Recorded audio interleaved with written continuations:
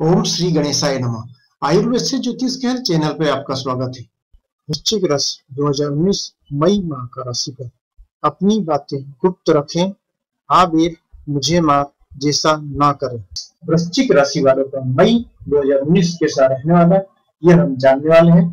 तो सबसे पहले हम देख लेते हैं वृश्चिक राशि में मई 2019 में ग्रहों की स्थिति कैसी रहेगी ताकि उसके अनुसार उनके प्रभावों को भी अच्छी तरह से जान सके। सूर्य पंद्रह मई तक मेष राशि और मेरू शत्रु के भाव में रहेंगे। उसके बाद पंद्रह मई से दस राशि में आपके सप्तम भाव में रहेंगे। मंगल सात मई तक दस राशि में आपके सप्तम भाव में रहेंगे। सात मई से मिथुन राशि में अष्टम भाव में रहेंगे। बुध तीन मई तक मिथुन राशि में आपके पंचम भाव में रहेंगे। तीन मई से छठे भाव में मेष राशि में गोचर करेंगे और 18 मई से वृष राशि में सप्तम भाव में गोचर करेंगे। गुरु वृश्चिक राशि में आपके लग्न भाव में वक्री रहते हुए गोचर करेंगे और शनि धनु राशि में धन भाव में पूरे माह गोचर करेंगे। और राहु केतु भी क्रमशः आपके अष्टम भाव में एवं धन भाव में पूरे माह गोचर करेंगे। अब देख लेते हैं वृश्चिक राशि में मई माह में ग्रहों के प्रभाव किस रहेंगे आपकी राशि में सूर्य कर्म भाव के स्वामी होकर, पंद्रह मई तक रोग शत्रु भाव में अपने मित्र मंगल की राशि में गोचर करने से जातक को कभी लाभ और कभी हानि की संभावना बनी रहेगी। व्यवसाय एवं कार्यों में शत्रुओं द्वारा बाधा उत्पन्न की जाएगी, अतः कोई भी कार्य करते समय गुप्त शत्रुओं को ध्यान में रखते हुए ही बात कार्य व्यवहार किया जाए, ताकि ऐसे अवसर ही न बन सके कि शत्रु नुकसान पहुँचा सके।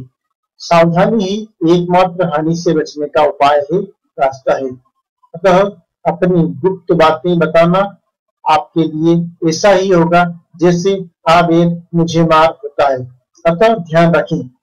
दोस्तों, मैं इस माह से एक सीरीज़ चालू कर रहा हूँ, जिसमें आपको बहुत ही बढ़िया लाइफ चेंजिंग शिफ्टिंग मिलेगी। तो शुरू करते हैं।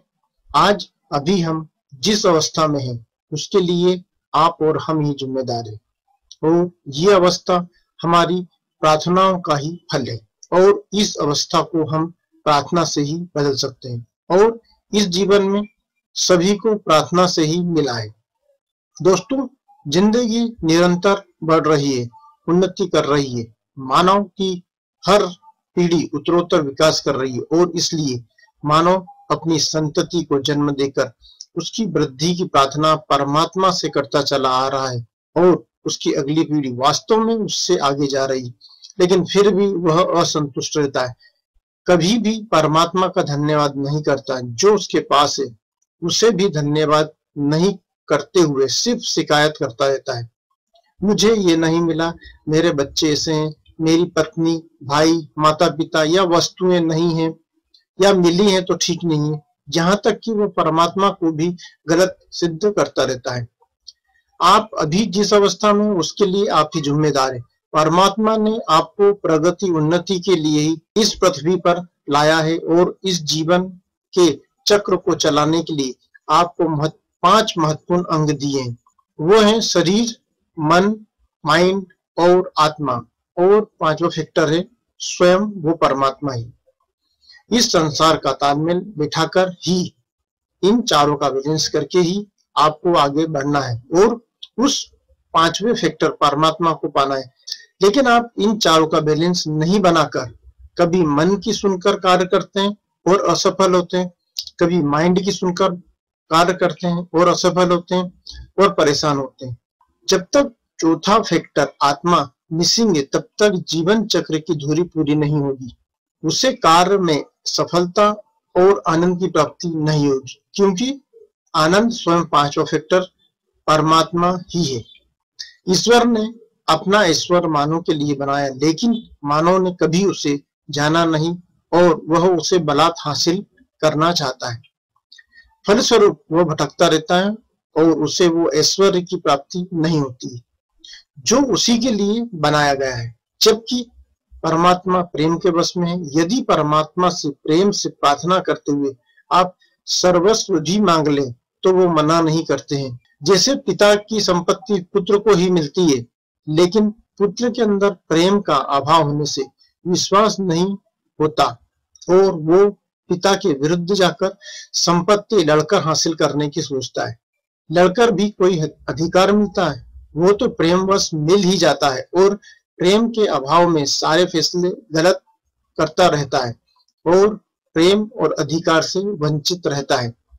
ये कितनी बड़ी बात है कि यदि परमात्मा से प्रार्थना में आप सर्वस्व भी मांग ले तो वो मना नहीं करते। वो सिर्फ़ तथास्तु ही कहते हैं। लेकिन ना हमारे पास ज्ञान है, ना प्रेम है तो प्रार्थना कैसे निकलेगी? सही प्रार्थना कैसे उठेगी? हमें प्रार्थना करना ही नहीं आती। है इसलिए जितना ज्ञान है, उसी के अनुसार प्रार्थनाएँ निकल रही है और उसके पूरी होने पर परेशान हो रहा है। वो तो देने को राज़ी है। उसने तो दे ही दिया है। आपको पाने की दे दी पूरा सृष्टि का ईश्वर आपका ही। बस आपको लेने का तरीका आना चाहिए। जिसने भी ये तरीका जान लिया है, उस सरल व्यक्ति को आज लाखों करोड़ों अरबों रुपए कहाँ से आ रहे हैं पता ही नहीं चलता। उसे कोई एफर्ट्स नहीं करने पड़ते।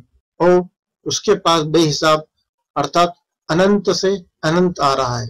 और दूसरा कठोर व्यक्ति दिन रात लगा रहता है दो जून की रोटी कमाने के लिए। ये क्या है? ऐसा क्यों हो रहा है? ज़रूर मिसिंग लिंक है। उसके पास वो समझ नहीं है जो पैसे को आकर्षित कर सके। उसके पास वो मैग्नेटिक पावर नहीं है जो ऐश्वर्य को आकर्षित कर सके। एक बार लोहा मैग्नेट से घिसकर मैग्नेट हो जाए। एक बार व्यक्ति ईश्वर से घिसकर मैग्नेट हो जाए, यानी ईश्वर हो जाए तो आपके अंदर भी वो मैग्नेटिक पावर, ईश्वरी तत्व आ जाएगा और ईश्वर आपका हो जाएगा। ईश्वर आपकी तरफ़ खींचा चला आएगा, पर उसके लिए भी प्रार्थना करना होगी। पर क्या आप सही प्रार्थना कर रहे हो? प्रार्थना क्या है? और प्रार्थना कैसे की जाती है? जिसे हम जून के राशिफल में जानेंगे। गुरु वृश्चिक राशि में लग्न भाव में रहेंगे, जो कि आपकी राशि में धन भाव एवं पंचम भाव के स्वामी अतः गुरु आपके लिए उत्तम फल प्रदान करने वाले हैं। अर्थात सोने पे सुहागा जैसा कार्य करने वाले हैं। अतः गुरु धनेश होकर आपको धनवान कार्य व्यापार में धन लाभ प्रसिद्ध चतुर बुद्धिमान अच्छा वक्ता, लीडर, दूरदृष्टि सोच, दूसरों को मददगार बनाने वाले हैं। गुरु वहीं आपकी राशि पंचमेश होकर प्रेम, शिक्षा, संतान से संबंधित सुख प्रदान करते हुए उपरोक्त अनुसार शुभ फलों में निश्चित रूप से वृद्धि करने वाले हैं।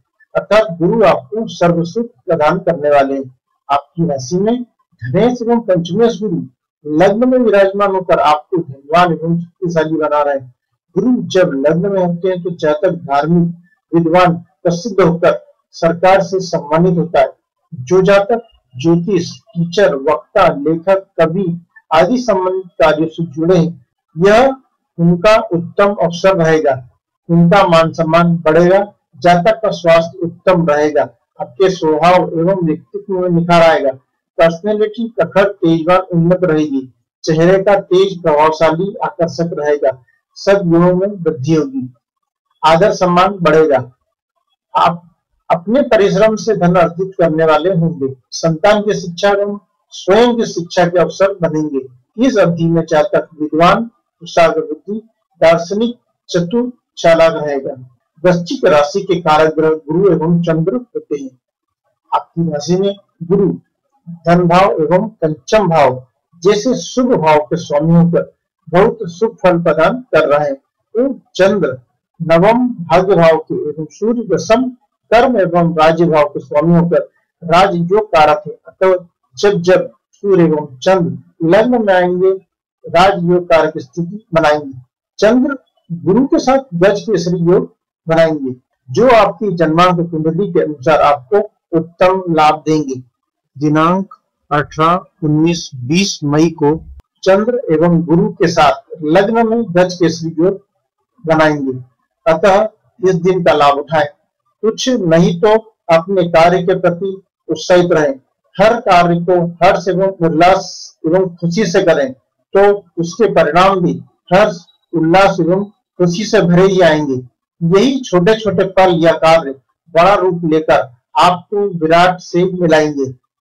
विद्यार्थियों के लिए गुरु एवं बुद्ध की स्थिति विद्या के क्षेत्र में शिक्षा ट्रेनिंग प्रशिक्षण के अच्छे अवसर बना रही है। इस माह जो भी परीक्षा देंगे, उसमें अच्छे परिणाम प्राप्त होंगे। दोस्तों, आपकी राशि में शुक्र 10 मई तक मीन राशि में पंचम भाव में रहने से जातक को प्रसिद्ध सुखी धनवान बना रहे हैं। अतः इस अवधि में आपको अपने किए गए कार्यों में प्रसिद्धि, सुख एवं धन की प्राप्ति होगी। वहीं शुक्र वयस होने से संतान संबंधी परेशानी, शिक्षा में कमी, संतान के कारण धन व्यय हो सकता है। वहीं शुक्र दस में के रोग एवं शत्रु के भाव में मेष राशि में रहेंगे। अतः सप्तमेश जब छठे भाव में होते हैं तो पत्नी को रोगी एवं दाम्पत्य जीवन में परेशानी दे सकते हैं। वहीं शुक्र वयस होने से जातक को ईर्षादु क्रोधी कर स्त्री के मुँह में फंसा सकते हैं। अतः इस अवधि को ध्यान में रखें। ये समय आता तो कुछ दिनों का ही है, लेकिन ज़िंदगी भर का दुख दे सकता है। अतः तो सावधान रहे। अपने भाव, विचार, वाणी, क्रियाओं पर ध्यान रखकर कार्य व्यवहार करें। वैसे यहाँ पर शुक्र दूर स्थान के स्वामी होने से एवं दूर स्थान पर बैठने से विपरीत राज्यों बन रहा होने से नौकरी में लाभ, रोग एवं शत्रुओं का समन करेंगे। लेकिन यह जन्मांक कुंडली में ग्रहों की स्थिति एवं आपके कर्मों पर निर्भर करता है। शनि धनु राशि में धन भाव में पूरे माह रहेंगे। शनि यहाँ पर पराक्रमेश होने से यह शुभ स्थिति नहीं है, लेकिन शनि सुखेश होकर जातक को माता की ओर से धन लाभ, पैतृक संपत्ति का लाभ, विद्या, अर्जन में सहयोग एवं सफलता दिलाएँगे। जातक अपने काम सक्रिय होकर चतुराई से पूर्ण करते हुए प्रसिद्ध होगा एवं धन की प्राप्ति करेगा। लेकिन पारिवारिक माहौल कुछ कटुतापूर्ण रह सकता है। आपकी कुंडली में लग्न के स्वामी मंगल सप्तम भाव में होने से जातक के लिए वर्तमान में यह स्थिति लाभकारी होगी और दाम्पत्य जीवन प्रेममय रहेगा। आपका व्यवहार अच्छा होने से व्यापार में लाभ प्राप्त होगा। लेकिन मंगल सस्टेश होने से दाम्पत्य जीवन में परेशानी आएगी। स्वयं भी बीमार हो सकते हैं, और तो पत्नी भी बीमार हो सकती है। लेकिन राहु की दृष्टि धन भाव पर एवं गय भाव पर होने से सुख में कमी हो सकती है। भूमि, वाहन आदि विवाद, धोखाधड़ी भी हो सकते हैं। अतः सावधान रहें।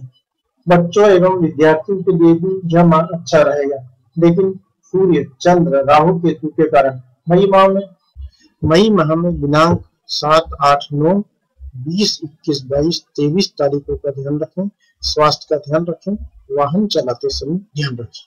अतः दोस्तों, वृश्चिक राशि वालों का मई का समय शुभ फलदायक रहना या करना, अब आपके हाथ में योग तो बनी रहे और आपको पता भी चल जाए, अगर सकारात्मक रहते हुए भाव, विचार, वाणी क्रिया एक करके आप इन योगों का लाभ ले सकते हैं। खुशखबरी यह है कि आप अपनी कुंडली विश्लेषण फ्री में पा सकते हैं।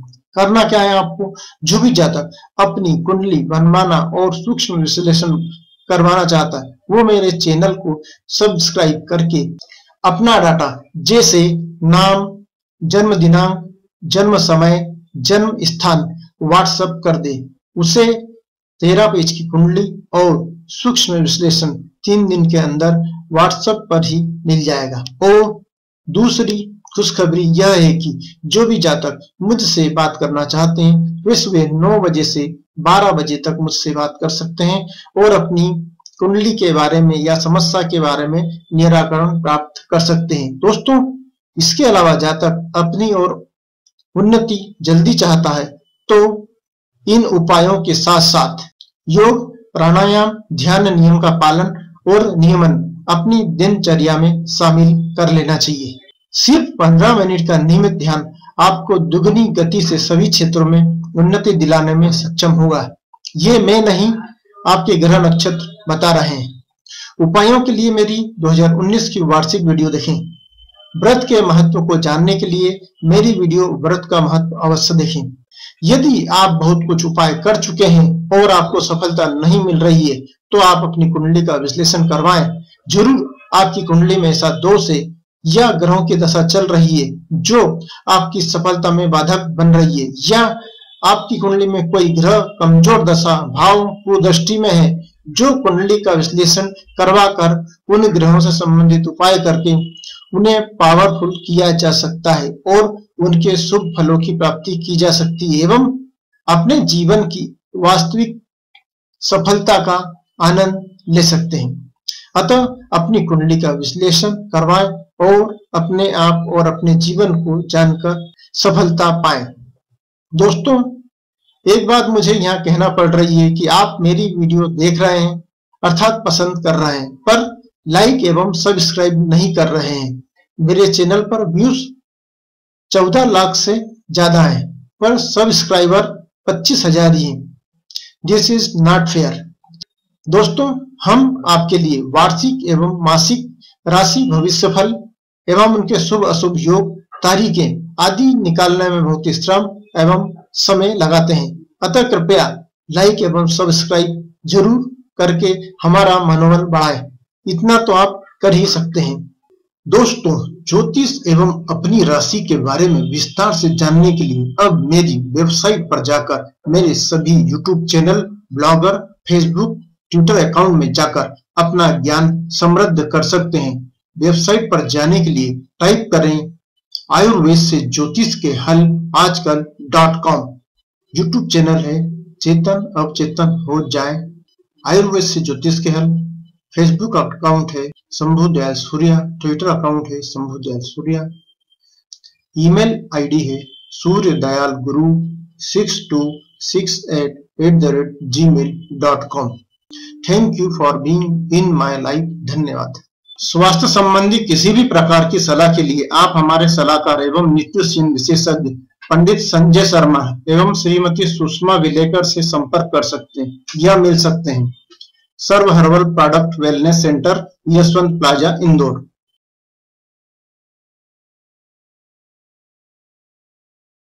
कुंडली के विश्लेषण में आपको आपके वह गुण और कर्म दिखाई देंगे, जो आपको ही नहीं मालूम है। या आपको अपने गुण और कर्म मालूम तो हैं, पर उन्हें करना है या नहीं करना है, ये आपको पता नहीं। जब आपको ये पता चल जाएगा कि क्या करना है और क्या नहीं तो आपकी उन्नति डबल हो जाएगी। अतः कुंडली बनवाने और कुंडली विश्लेषण करने के लिए संपर्क करें। अतः इस वीडियो को लाइक करें, सब्सक्राइब करें, बेल आइकन को क्लिक करें, ताकि मेरी अन्य ज्ञानवर्धक वीडियो आपको सबसे पहले मिल सके। और इसे शेयर भी करें, ताकि आपके शेयर करने से आपका परिचित भी लक्ष्मी कृपा से लाभान्वित हो सकेगा और आपको दुआ देगा, जिससे आपको डबल पुण्य की प्राप्ति होगी। कोई क्वेरी हो तो कमेंट्स करें या ईमेल करें या व्हाट्सएप करें। हमारे मोबाइल नंबर और व्हाट्सएप नंबर है seven five zero nine triple zero four seven six और ईमेल आईडी नंबर है Surya Dayal Guru six two six eight at the rate gmail dot com धन्यवाद दोस्तों।